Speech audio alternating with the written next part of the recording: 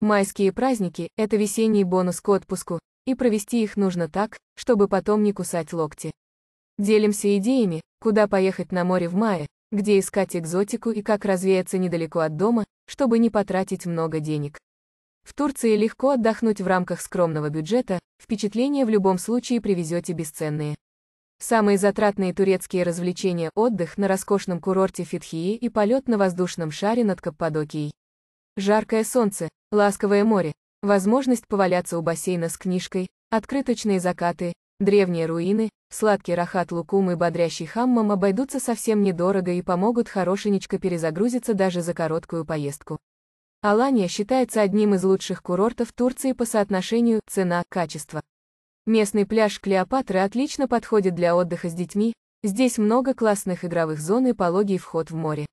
Развлечения для взрослых тоже найдутся, поднимитесь к средневековой крепости, чтобы снять красивую панораму сверху, или спуститесь в пещеру Домлаташ с загадочными сталактитами и сталагмитами.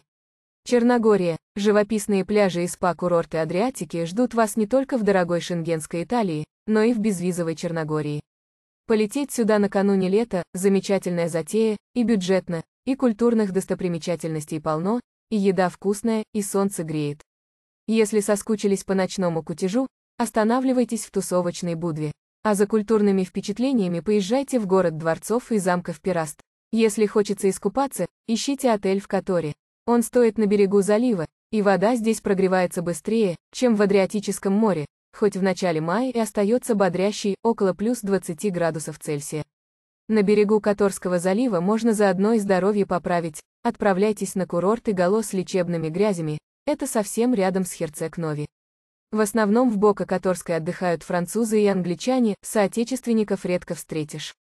Если искупаться не так важно, как сэкономить, поезжайте в отпуск в Ульцинь, где любят отдыхать местные, или хотя бы избегайте самых дорогих мест, это остров Свети Стефан, а еще курорты Бечичи и Рафаиловичи с шикарными отелями, все включено. Кстати, на самом популярном черногорском курорте, в Будве, до начала летнего сезона большой выбор недорогого жилья, да и в кафе цены ниже. Монголия, если ощущение, как на другой планете, побывал, для вас важнее, чем количество звезд в отеле, отправляйтесь за приключениями в Монголию. В мае там еще прохладно, плюс 16 градусов Цельсия днем и чуть выше нуля ночью. Но вы едете не отдыхать в тепличных условиях, а прокладывать новые тропы и собирать космические впечатления. Исследовать Монголию без визы можно 30 дней. Но даже за майские праздники вы успеете погостить в чуме у оленеводов, увидеть древние шаманские алтари, встретить рассвет в пустыне Гоби и найти уединенную бухту у берегов озера Хупсугул, синей жемчужины Монголии. Из Улан-Удэ в Улан-Батор можно слетать за 6902 рубля в обе стороны, из Иркутска – за 19956 рублей. А вот цены на перелет из Москвы или Петербурга повыше, от 24 457 рублей за билеты туда-обратно.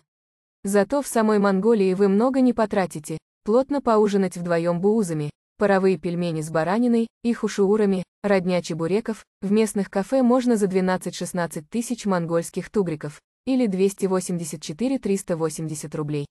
Даже в туристическом ресторане в Улан-Баторе вы запросто уложитесь в 1300 рублей. Квартира или номер на двоих в уютном гестхаусе в столице Монголии стоит около 1600-2500 рублей за ночь. Столько же заплатите за сутки в двухместной войлочной юрте на берегу Хупсугула, и это с питанием. Марокко. В безвизовом королевстве Марокко можно и по-королевски спустить целое состояние, и по-бедуински обойтись малым. В мае двухместный номер за 2000 рублей в сутки вы снимете даже в туристическом Агадире на берегу Атлантического океана. Сытный обед на одного в заведениях для местных стоит всего 40-60 дирхам, 265-398 рублей.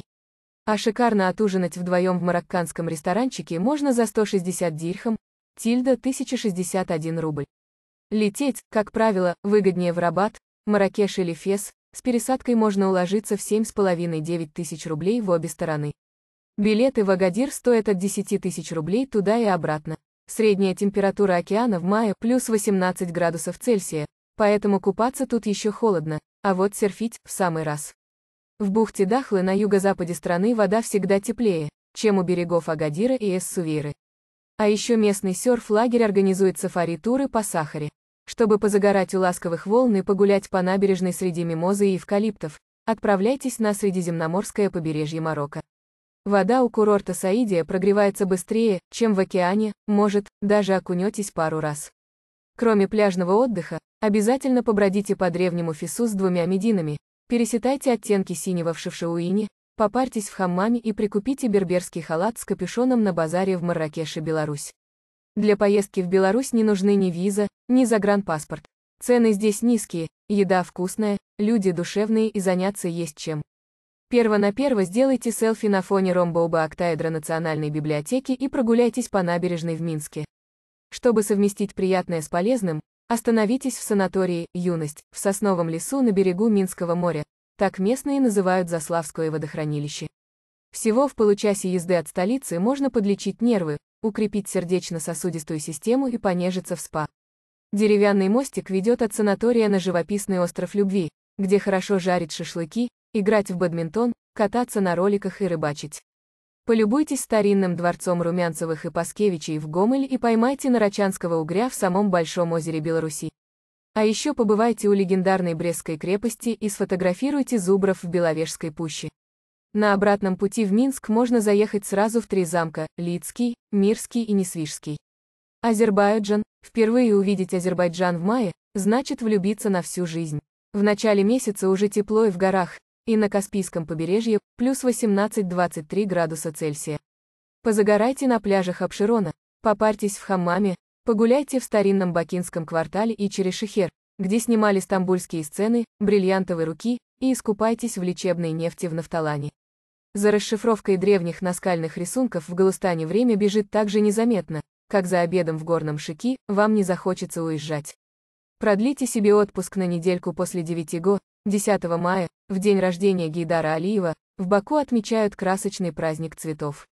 Ставьте лайки, подписывайтесь на канал. Всем пока!